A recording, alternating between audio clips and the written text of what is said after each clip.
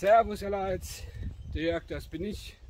Euch möchte ich mal ganz herzlich zu diesem Video hier begrüßen. Ja, es ist Montagmorgen, 8 Uhr. Ich habe heute Nachtschicht. Ja, muss also heute erst um 10 Uhr heute Abend arbeiten. Bin jetzt hier unterwegs ans Dasterheiße, gemütlich frühstücke. Ja, und er zwei Stunden da verbringe, bevor der Alltagstrott wieder losgeht. Ja, der eigentliche Plan war ja ein Overnighter. Ja, mal wieder rausgehe und draußen übernachte. Nur mit dem Wetter, was wir gestern oder das Wochenende allgemein hatten, ja, mit Blitz und Donner und Rechewetter, da möchte ich mit Sicherheit nicht im Wald liegen. Da bin ich lieber auf der Couch daheim. Ja, eine Overnighter habe ich die Woche trotzdem gemacht. Und zwar im örtlichen Krankenhaus. Ich habe Probleme mit den Nieren gehabt. Da war ein Stell drin. Ja. Und äh, zum Glück nicht das ganz große Zirkus. Ja. Weil das letzte Mal, als ich sowas gehabt habe, war ich sechs Wochen krank. Ja, konnte vier Wochen lang, ja fast fünf Wochen lang nicht vom Klo runter weil man halt wegen drei, vier Tropfen alle fünf Minuten rennen muss. Das ist mir zum Glück erspart geblieben, weil der Steuer oben zum Krankenhaus noch rausgekommen ist. Ja, da habe ich immer Glück gehabt. Ja, dann waren wir am Samstag unterwegs, der Kollege und ich. Der hat gemeint, er kennt der Hüttel, wo der Bach oder was der drauf fließt, wo man rein kann. Ja, wir waren dann da, wo er gemeint hat, aber da war nichts, das habe ich mir aber auch schon gedenkt. Da habe ich gesehen, ah, da geht es zur Holderquelle, die kennst Ja, und was ist? Aus dem gemächlichen Nachmittag, was wir da geplant haben, ist ein eigentliches Desaster. Ja. Da stand unten noch mal das eine Schild Holderquelle. Ja, und da noch absolut kein Schild mehr. Wir sind nicht durch die Gegend gestiefelt. Ja, wir sind da den Berg aufgekrabbelt. Wir waren am Greiferhaus in Sommerfels, wie das Ding heißt. Ja, sind da mit Händen Fies aufgekrottelt. Dann mit Händen Fies wieder runter. Ja, kein Schild und da kein Schild und irgendwann haben wir dann doch was gefunden zum Orientieren. Also sind wir kreuz und quer durchgerannt. Dann sind wir da an die Holderquelle angekommen. Ich war da schon ziemlich genervt, muss ich ganz ehrlich sagen. Sind dann, ja, dann hat die ganze Familie beide Bankgruppe für sich beansprucht. Ja, was ich nicht verstehen kann. Und äh, da war doch ein Mann, der da an der Quelle gearbeitet hat mit einem schweren Werkzeug. Stromaggregat und da habe ich, ja, habe ich einen riesen Ausraster gehabt. Ja, ich habe so innerlich gekocht, das kann ich mir gar nicht vorstellen. Ja, wir sind dann wieder abgezogen von der Holderquelle, weil für mich war noch Mittag gelaufen. Ja, sind wir zum Dönerladen gegangen, haben sowas geholt. Ja, anstatt irgendwas zu grillen. Also es war ein richtiges Desaster. Ja, am gestrigen Sonntag da habe ich absolut keine Muße gehabt, was zu machen. War dementsprechend daheim die ganze Zeit. Und äh, ja, sag ich mir, jetzt gehe ich halt mal hier noch mal ein bisschen raus. Ja, um noch ein bisschen Kraft zu tanken. Ja, einfach ein bisschen Kraft zu tanken und einfach noch ein bisschen fit zu machen, fahrt oben. Ja, ich werde jetzt noch den Rest Weg gehen, weit ist nicht mehr. Und ich melde mich dann dort gleich noch einmal. Also bis später.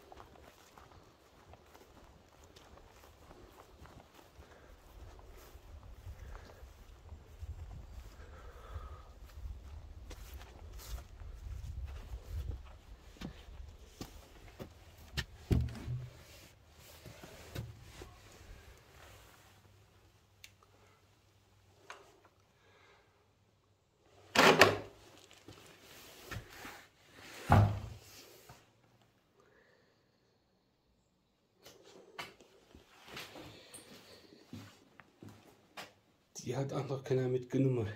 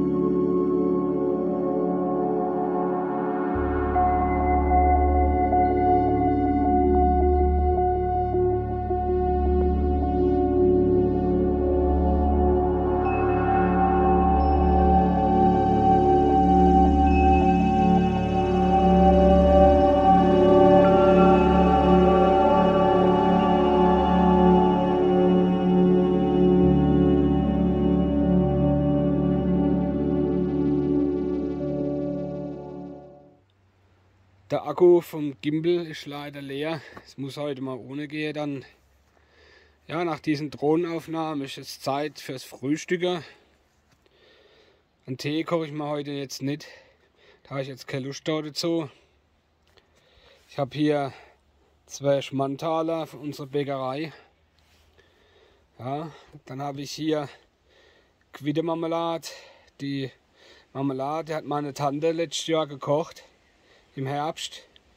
Ja, ich habe von der Tante dann zwölf Gläser bekommen, für jeden Monat eins, bis wieder soweit ist. Ich muss euch ganz ehrlich sagen, das ist jetzt gleich erst das dritte Glas, wo offen ist von den zwölf. Die Marmelade ist sehr lecker, aber ich esse halt eben auch nicht jeden Tag.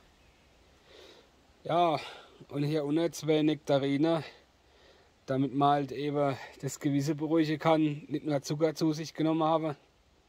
Ja. Das wird jetzt mal Frühstück sein. Das werde ich jetzt mal in Ruhe genießen. Frühstück ist jetzt vorbei. Da liegt ein Dutt voll Parakott. Ich möchte jetzt mit dem Parakott was ausprobieren. Ich habe gestern beim Saki auf seinem Kanal mal ein paar Knoten angeguckt. Und äh, das werden wir jetzt halt mal gucken, Gerade dieser Sibirien Hitch Knote hat er gezeigt, den habe ich nicht ganz so kapiert. Gucken wir mal, ob ich den heute hinkriege. Weil das ist ein Knote, äh, um ja, wenn man jetzt eine Ridgeline oder Firstline hinspannen will, wenn man die auf der einen Seite fix anbringen möchte. Ja, ich möchte mal gucken, ob ich den Knoten hier bekomme. Ich gucke auch mal, ob ich das mit der Kamera so einfangen kann. Äh, was heißt Kamera mit dem Handy? Also, es geht um das Birin Hitch. Den möchte ich gerne mal probieren.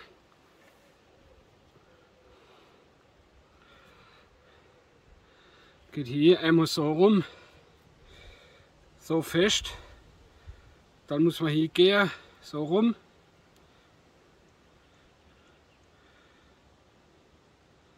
Und dann hier gehen, so, so.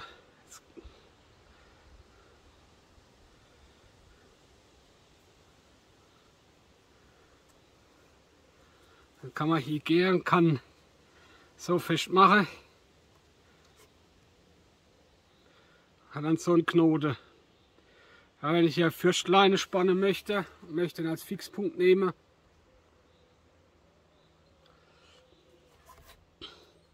So, probieren wir mal das gleiche noch einmal. So, weil den habe ich gestern zwei, dreimal daheim probiert, habe nicht gleich gekriegt.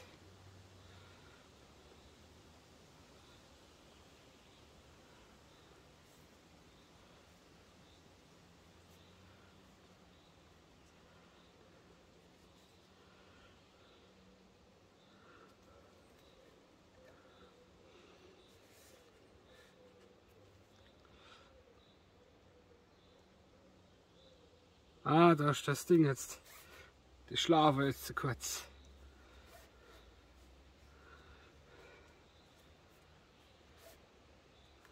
So, also so rum. Dann das da unten rum.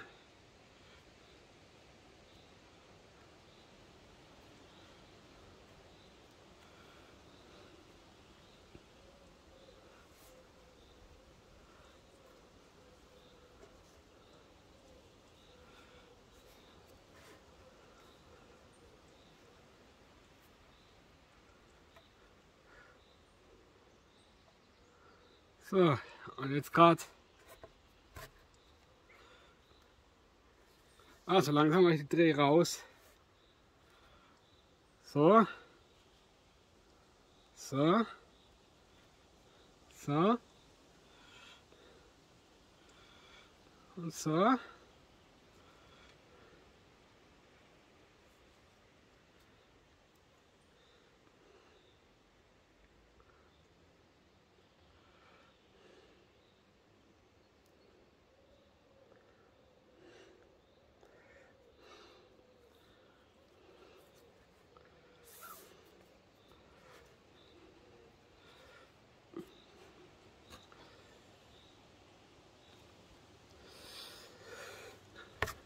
Okay.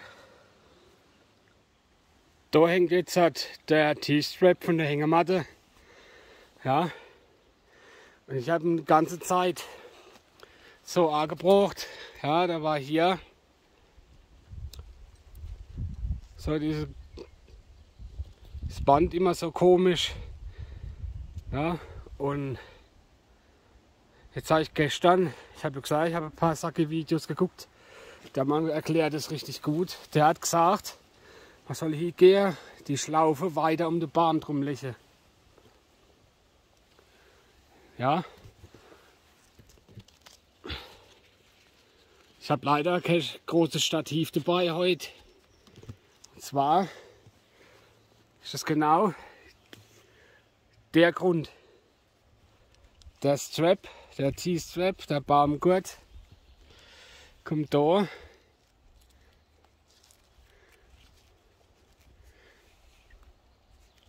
viel besser raus. Ja, also nicht so zugeschnürt und überhaupt nichts. wenn man jetzt so führen tut, sondern hat hier richtige Schleife. Das habe ich vorher auch noch nicht gewusst.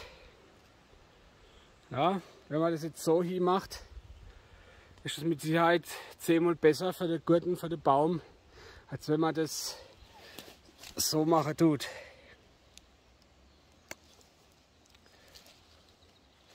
Also die Schlaufe einfach ein Stück weiter raus. Einfach nur ein Stück weiter raus machen. Und schon geht die Geschichte. Ja, die andere Seite werden wir jetzt einmal hier hängen. Aber das zeige ich euch jetzt nicht, das mache ich so. Wie ihr sehen könnt, die Hängematte hängt jetzt hat. So schön vor sich hier. Und das hier hat das Sacki danach gemäht. Ja, man hat hier kein, na, so, man hat hier kein, kein Knibbel drin. Das ist auch nicht fest, sondern schön beweglich. Gut kann hier in voller Breite sein.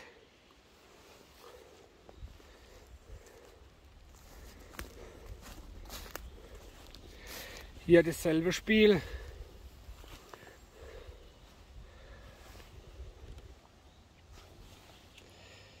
Na?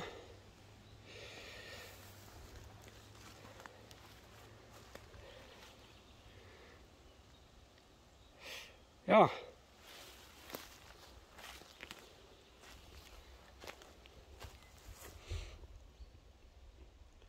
Wie ihr sehen könnt, man muss nur ein paar Videos gucken, dann kann man auch schon was lernen. Ja. Das Tab habe ich jetzt nicht dabei. Vielleicht nehme ich das das nächste Mal mit und dann gucken wir mal, ob man hier zwischen den zwei Bäumen, weil es scheint ein guter Platz zu sein, mal das ganze Setup wieder aufgebaut kriegen. Ja, ich werde jetzt mal den Rest noch hier zaubern und dann werden wir gucken, wie es weitergeht. So wie es der Zufall will. Gerade eben habe ich es noch geübt. Ja, die Original Fürstleine von dem Amazonas Setup ist zu kurz. Ich habe hier Paracord dabei und genau jetzt ist dieser Sibirien Hitch zum Einsatz gekommen. Ja.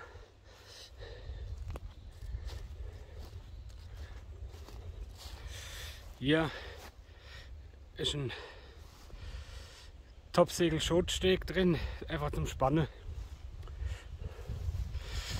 Ja, ich werde mich da jetzt mal noch ein paar Minuten einlegen. Werde mich dann nochmal bei euch melden.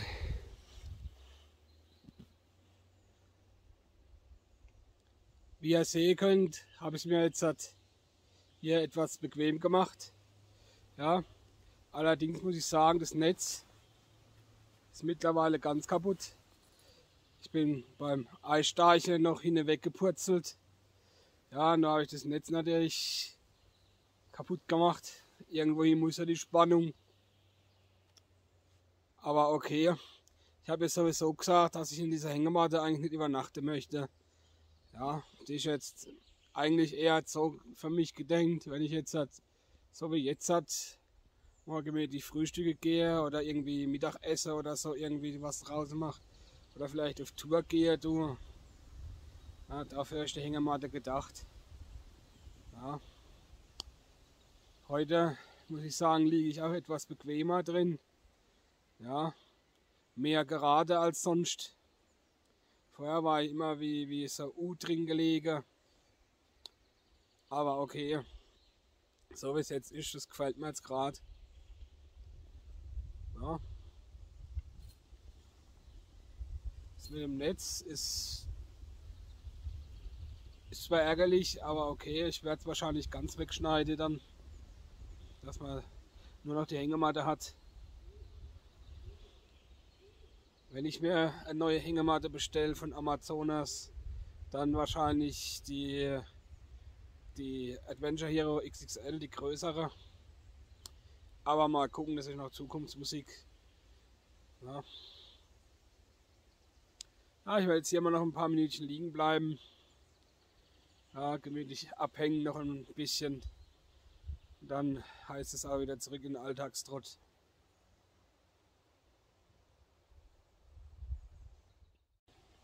Jetzt zeige ich euch mal das ganze Ausmaß. Gesagt, hier oben abgerissen. Hier fettes Loch drin. Dadurch, dass ich halt so noch hinweggepurzelt bin, trotz Isomatte dabei. So jetzt kein, kein Beibruch sein, ich werde das Netz nehmen und einfach wegschneiden komplett. Ja, weil fliegen kann man das nicht mehr. Ja, also ich wüsste nicht wie. Aber ist okay. Macht nichts. So sieht das Ganze jetzt halt ohne das Netz aus. Ich meine, sieht aus wie so zerrupftes Hinkel. Ja. Aber okay, das habe ich mir ja schon gedenkt, dass irgendwann so weit kommt. Ja. Ich werde mal gucken, wie das Thema Hängerwatte weitergeht. Hat sowas von euch jemand schon gesehen? Das ist, da ist Annie. Da huckt die Anna. Zwei ganz schwarze Schnecke. Ich habe gemeint, die ist tot. Ich habe es vorhin schon gesehen. Aber das, ich habe schon orangene Nacktschnecke gesehen. Ja, habe ich gesehen, so ganz knallgelbe, aber schwarze noch nie. Ja, super. Alles ist zusammengerahmt. Koffer steht bereit. Ja. Ach, dahinter alles weggeräumt. Hat nun Zeit, sich um das Haus zu verabschieden. So schnell geht der Montagmorgen herum. Ja, schön war es da. Gut, das mit der Hängematte war jetzt ein bisschen blöd, ist jetzt ein bisschen dumm gelaufen, wie man so schön sagen tut. Aber okay, macht mir jetzt nichts aus. Ja, jetzt hat er jetzt wieder zurück ans Auto und ab in der Alltagstrott. Ja, ich hoffe doch, dieses Video hat euch gefallen. Ja. Jetzt hat, bleibt eigentlich nur noch eins übrig, mich zu verabschieden. Ja. Ich sage schön groß und auf Wiedersehen.